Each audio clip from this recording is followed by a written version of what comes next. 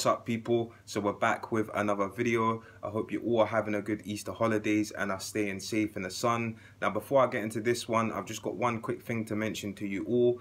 Tomorrow I'll be announcing the winner of the True Life Talks t-shirt. So do make sure you stay locked in as if you don't stay locked in, you won't know that you've won. And if you do not comment on the video, you don't have a chance of winning the t-shirt. Now this one that I'm bringing to you all today is all about the first day on the wing inside of prison. So let's get into it. So if you have not been to prison before and it's your first time going, 100% your first day is going to be pretty much intimidating and it's going to be intense due to the fact that it's your first time going and you know your head still on the outside world. Now when you go to prison you will learn to balance the outside world or you will learn to cut it off like a lot of prisoners do as when you're in prison prison is your world until you leave prison. And if you have the outside you know when you're in there and you don't balance it right then you know it can you know mess with your head inside of prison. So it's definitely a balance. Now the reason why i say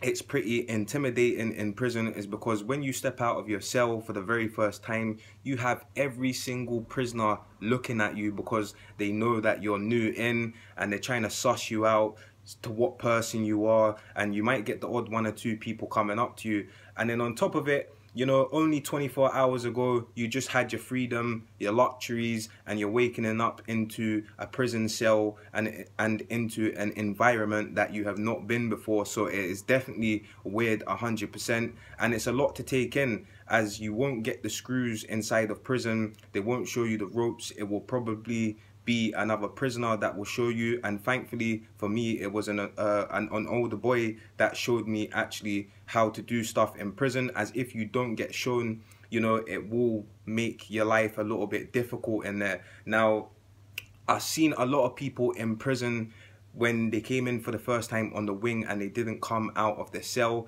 That definitely does not help you as it can be seen as you know you're a bit weird or the lonely one or scared matter in fact. So coming out of your cell even you know just to walk about and you don't talk to someone is definitely something that you need to do so people can see that you're not scared on actually going out onto your wing. Now inside of prison you would think that you would get a lot of help for your first day and showing the ropes but like i said you don't. They literally give you your stuff show you your cell and that literally is you. Now the very first day on prison when you're inside does you know really determine determine so I should say of what people take from you. Because on that first day like I said people are reading your body language and they're going to see what they can get away with you and what they can't and so forth. So definitely the that very first day is a very big first day of making an, an, an, impression as it's like school. You know if you go to school and you don't interact with people then you know you know how it is. So yeah i've got plenty of more content coming. I do hope you all enjoyed.